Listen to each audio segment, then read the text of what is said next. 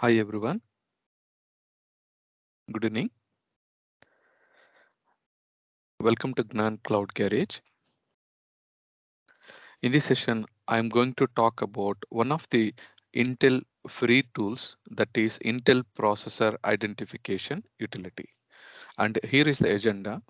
Why I'm going to discuss these utilities. There are some benefit of this tool how can we verify if our Intel processor supports Intel virtualization technology? And how to verify Intel VT is enabled or disabled in the system? And what are the supported Windows operating system versions for this tool? And also is there any Linux version of this Intel processor identification utility? And finally we can test it in our home lab okay. And uh, why we are going to talk about this tool is uh, the main primary reason is a uh, few of our friends uh, they are doing some uh, home lab testings. Uh, during that time they are having some challenges to install esxi but as per our previous sessions esx installation we we are aware that to install ESXi in our home lab or workstation VM, our uh, system must and should have enabled with a Intel VT. So to verify whether the Intel VT is enabled or not, this tool is one of the free tool to test it. Okay. And not only in our lab systems or laptops, we can also test it in the servers also. Even if you are before installing the um, Microsoft Windows Hyper-V, Intel VT enable Intel VT must be enabled in our motherboards, server motherboards. That time also we can use this utility to verify whether the VT is enabled or not. That is one method. And another method is we can go to the server's BIOS or laptop BIOS. From the BIOS also we can verify. So any method we can use. Uh, this is one of the alternate method using the free utility tool. Okay. So the first two questions, it gives the same answer uh, that is uh, how can we verify Intel process supports uh, if Intel process supports Intel virtualization technology, short form VT, or another way, the question is how to verify Intel VT is enabled or disabled in the system. So the answer is we can use Intel processor identification utility version 6.8 to verify uh, if our system is capable of Intel virtualization technology. So using this tool, select the CPU technologies tab. Once we open this tool, we have a CPU technologies tab and we can see if the virtualization technology options are checked or not. If it is checked means it is supported and if it is not checked means our uh, laptop or server, if you are using any uh, former or old model of servers, definitely if it is unchecked means it's not supported okay? And the downloading this utility is pretty simple straightforward. You can google you can type intel processor identification utility in google. You will find the direct link or else i will give the direct download link in our video description. Okay? And the installation is pretty straightforward. We can download from the website uh, intel website and second step install and launch the identi identification launch and identify our cpu is supported for vt technology or not okay? And another point is what are the supported windows operating system versions for this intel processor identification utility? So the operating systems are the currently it's supported for all the windows flavors starting from windows 7 until the latest version windows 11 and server os also it's supported from windows 2008 r2 release to service pack 1 2012 2016 until 2019 maybe the latest version 2022 this tool is as per the Intel website, they're giving compatibility until 2019. Maybe in the future edition, they may release for 2022 also. So if you are testing on client OS or if you are testing on uh, Windows Server OS before installing the Intel, uh, before installing the Microsoft Hyper-V also, you can use this utility to test it out. Even in our home lab also, we can test it out. Okay, so that is a point here. And is there any Linux version of the Intel processor identification utility? But at present, as per Intel, uh, there is no uh, Linux based version. So we can use this utility only for the Windows flavor OSs only. Okay, now quickly jump into our lab and we can test it.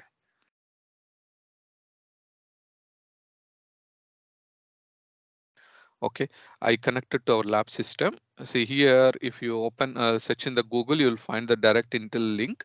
So intel processor identification utility windows version. And the version is 6.8 and the download is uh, just straightforward only 18, 18 mb file. I already downloaded and keep it ready for our local system. And currently this utility is able to validate the products starting from Intel Core i3 processor and we it supports for i5 and also the i7 and latest i9 processor and also the server models like Intel Xeon processor also we can verify okay? Sometimes the servers are comes with intel vt enable option and sometimes servers default laptop and servers intel vt option is in a disabled state. That time we have to manually go to the bios and enable the intel vt but before going to bios if you just want to quick check whether the vt enable or not that time we can utilize this utility. Okay? And let's let me install this tool. This is very straightforward installation so just .exe file only. So Intel processor identification utility next. And it is default installing on C drive. Okay.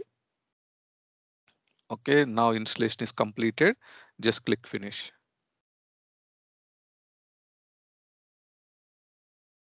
So once installation is completed, we can see the icon in the desktop. So accept the agreement and click on S see Intel processor identification utility, it's trying to run it on our local system.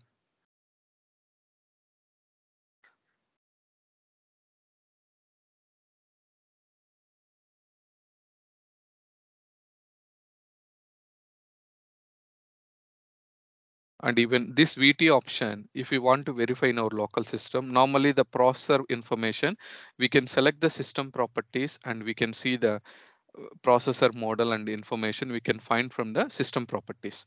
But here it is not showing the VT option. OK, uh, suppose this tool, we have a three tabs, processor frequency. Within the processor frequency, we can find the information of CPU speed, system bus, and cache information. And suppose if you select the CPU technology, here you can see the first option, Intel virtualization technology, it is showing. See, this is virtualization technology LOS, one hardware platform. And also hyper, hyper threading option also enable, and even virtual technology extension with extended page table also enable. So the our main key option is the first option and last option. So make sure VT should be enabled state. And we also have some CPU ID data.